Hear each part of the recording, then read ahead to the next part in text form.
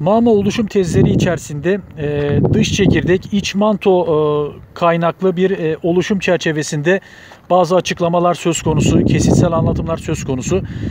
E, bu itibarla da pek çok e, araştırmacının kafasında e, yani soru işaretleri söz konusu olabiliyor. E, çünkü mekanizmanın nasıl oluştuğu ile ilgili olarak çok bir ayrıntılı açıklamalarda bulunulmuyor. Bu itibarla bir e, açıklamada bulunmanın bir jeofizik mühendisi olarak tecrübelerime istinaden önemli olacağı kanaatindeyim. E, yani yeri gelmişken şunu da belirteyim. Özellikle internet kaynaklarında bu tarz kesitsel e, birçok açıklama söz konusu. E, fakat işte e, detaylar noktasında ayrıntılara girilmemesinden dolayı birçok araştırmacının kafasında kafa karışıklıkları, soru işaretleri söz konusu oluyor.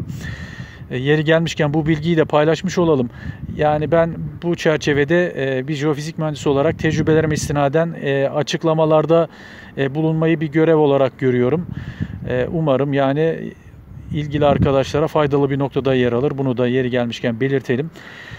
Şimdi arkadaşlar bu tür e, mağma oluşum mekanizması e, elektriksel bir e, konsepte ele alınan bir durumu özetlemekte. E, işte çekirdek e, biliyorsunuz e, elektriksel anlamda artı e, yükte bir e, durumu özetlemektedir ve genel olarak da katı formda bir e, durumu sergiliyor. Yani elektriksel iletkenlik anlamında e, katı formda bir yapıyı sergilemektedir. E, bunun dışında mantonun e, çekirdeğe yakın e, kısmı için de yine elektriksel iletkenlik anlamında katı formda bir durumu özetleyebilmemiz mümkün. Bu noktada mantonun iç kesimiyle ilgili olarak bir değerlendireceğiniz üzere negatif elektriksel e, birikme yük birikimi şeklinde bir durumu ifade etmemiz mümkün. E, çekirdekten kaynaklı olarak.